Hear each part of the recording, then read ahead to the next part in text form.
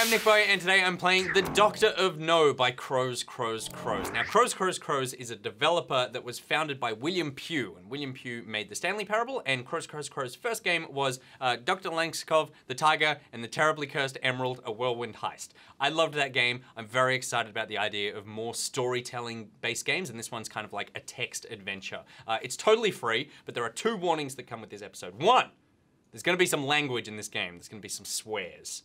So if you don't like that, maybe go watch one of our other videos. Maybe like the uh, Gamergate one or something. Number two, I'm gonna play the whole thing. I'm gonna go right to the end of this bad boy. So if you don't want to be spoiled, maybe go watch one of our other episodes, like our nine-hour Until Dawn playing through. All right, let's jump in.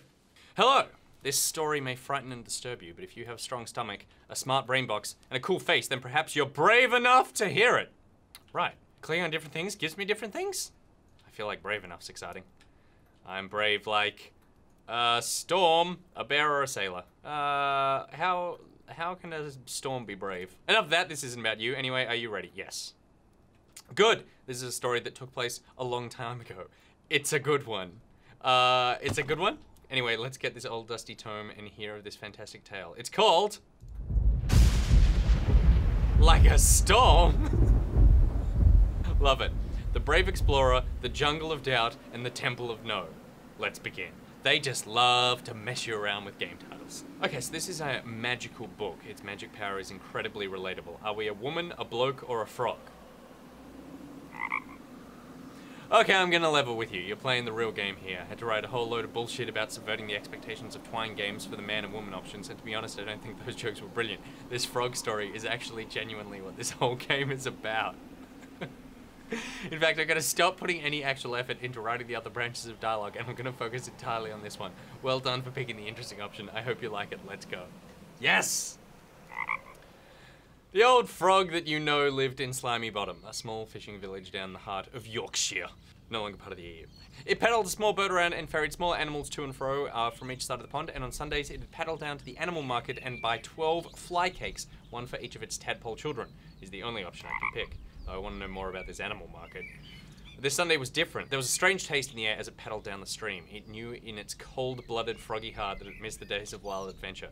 In its youth, it had traveled the world and explored new, non-froggy areas. Many of its discoveries had shaped the development of frog culture and frog history, but after enjoying the quiet life, Froggo knew it was time to step foot into the world of adventure one more. Why is its name Froggo? Okay, here's a crash course on our frog's old adventure history.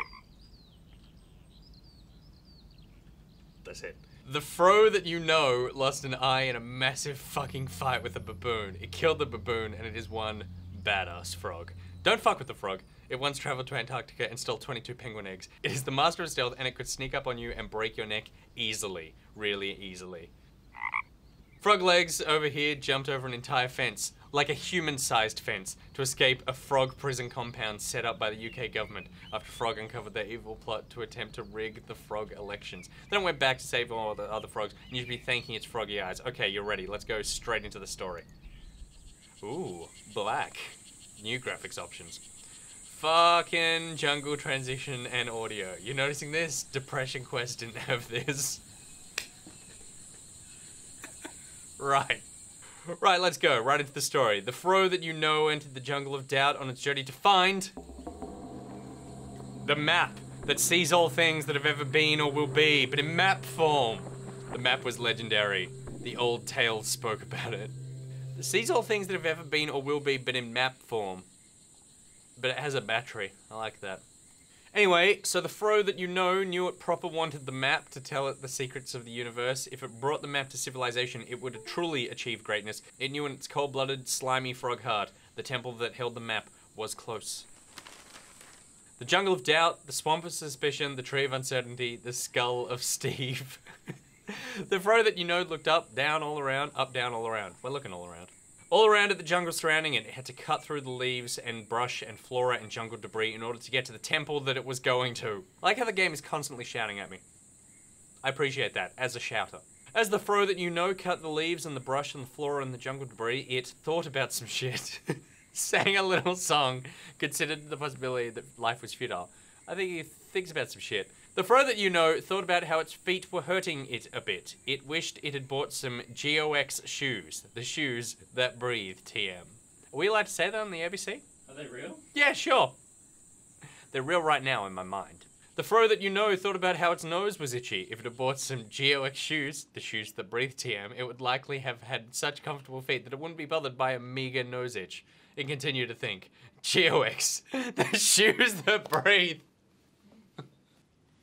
The fro that you know wasn't there, it still had much more jungle to cut through. So, it thought about some shit, sang a little song, considered the possibility that life was futile. Tell me your song, little fro.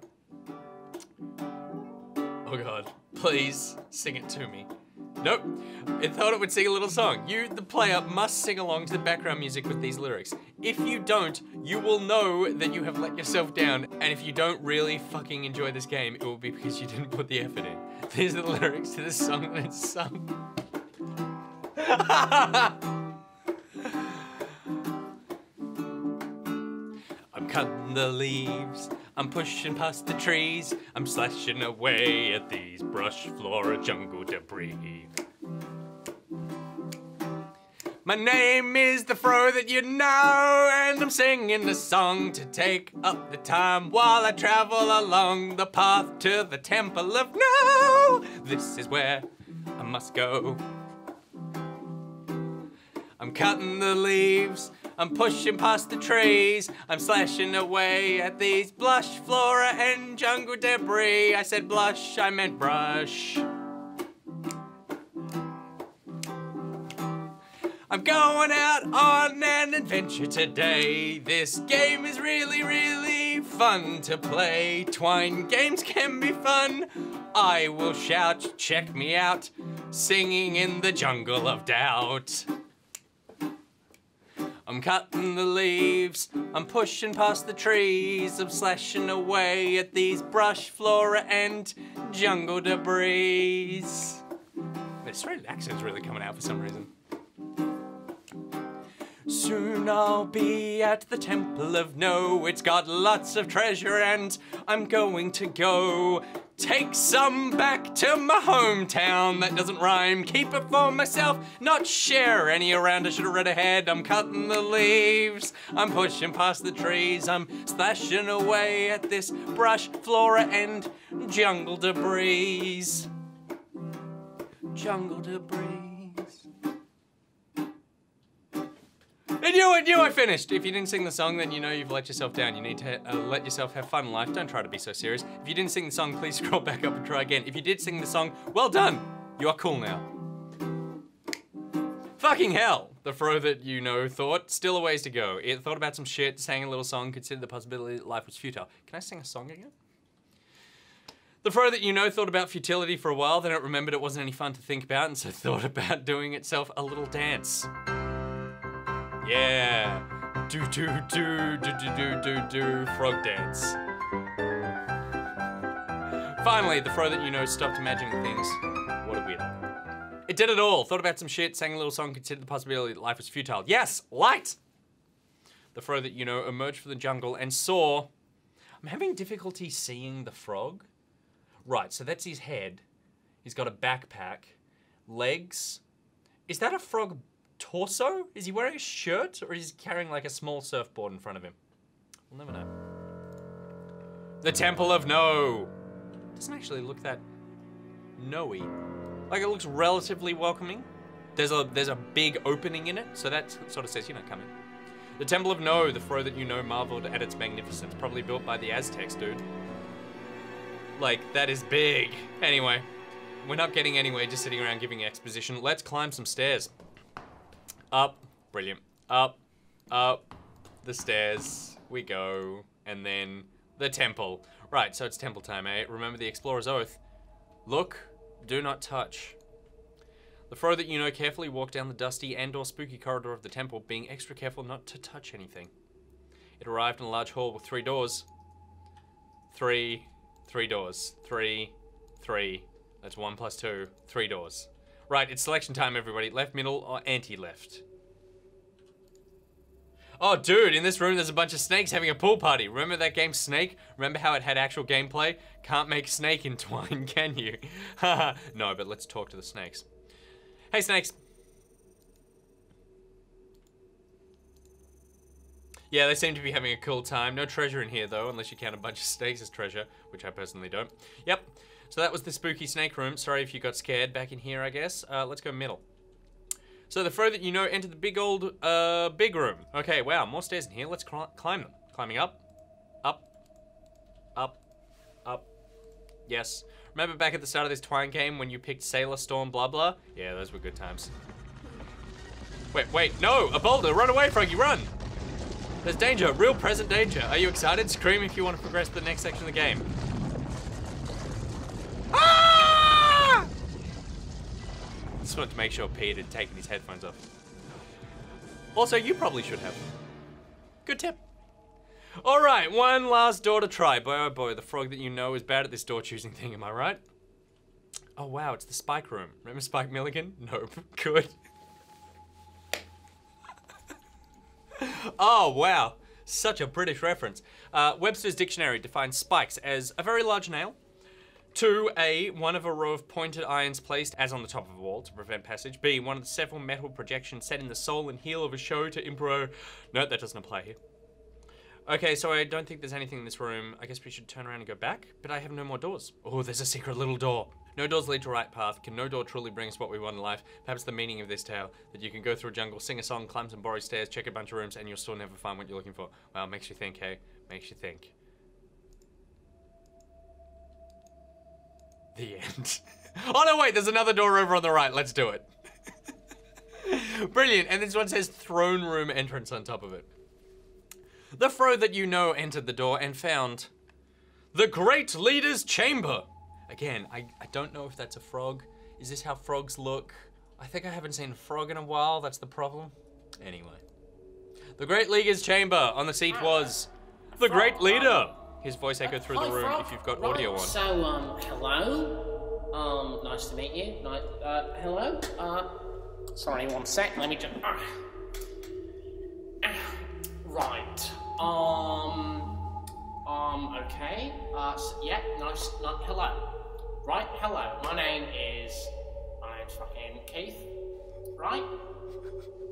And I am. Uh. Well. Uh. I'm the guy in the throne. I'm the. I'm the, I'm the bloody bloody Aztec god. I suppose. Um. Funny.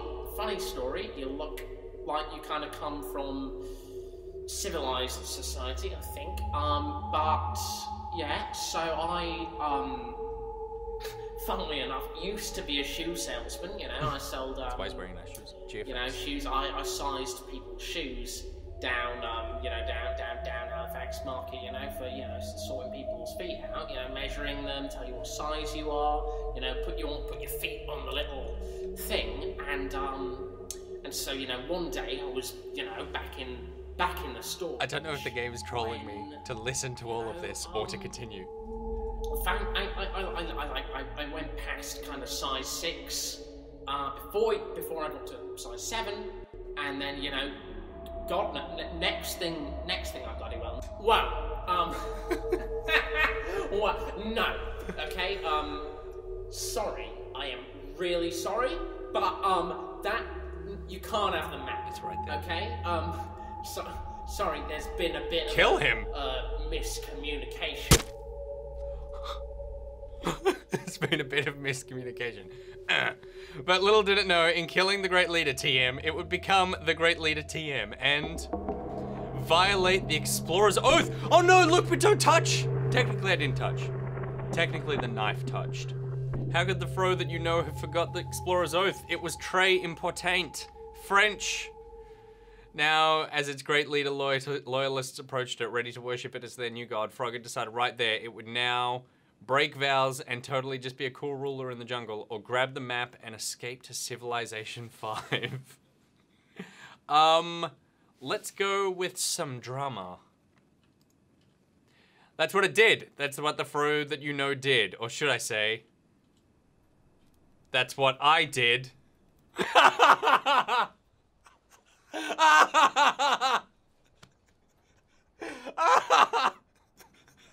That's right, fools. I'm old, the fro that you know, and that shit happened to me. I don't know what lessons I've learned or if I've learned any lessons at all, but I got the map. I got it. And it's given me many pieces of insight. And because you've heard my tale and listened to my words of wisdom, I'll tell you one piece right now. The wisdom is Have you ever played a good game made in Twine? Like one that's actually good, not just, quote, good for a Twine game.